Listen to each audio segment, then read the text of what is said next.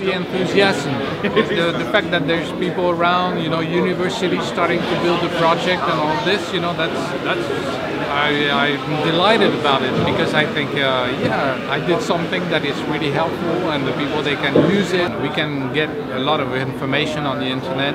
But I think the, the fact to, to meet in real the people and to be able to interact with people in real life and not only on the computer is something that uh, it's somehow the opposite, the total opposite of what is going on on the computer. It's uh, we need that. The human needs those interactions. It will be more and more events like this. Today, uh, we need to share.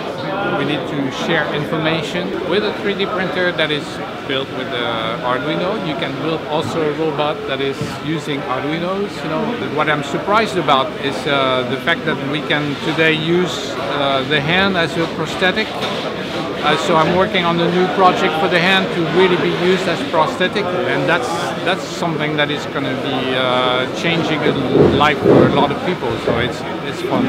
It's fun and great. well, it should walk. And uh, that's not today, but I'm working on it. I've been working on the hips uh, two days ago and working on the legs. I'm designing stuff, remodeling, transforming the things. It would be just amazing if already the robot could stand on itself. I'm using Arduinos.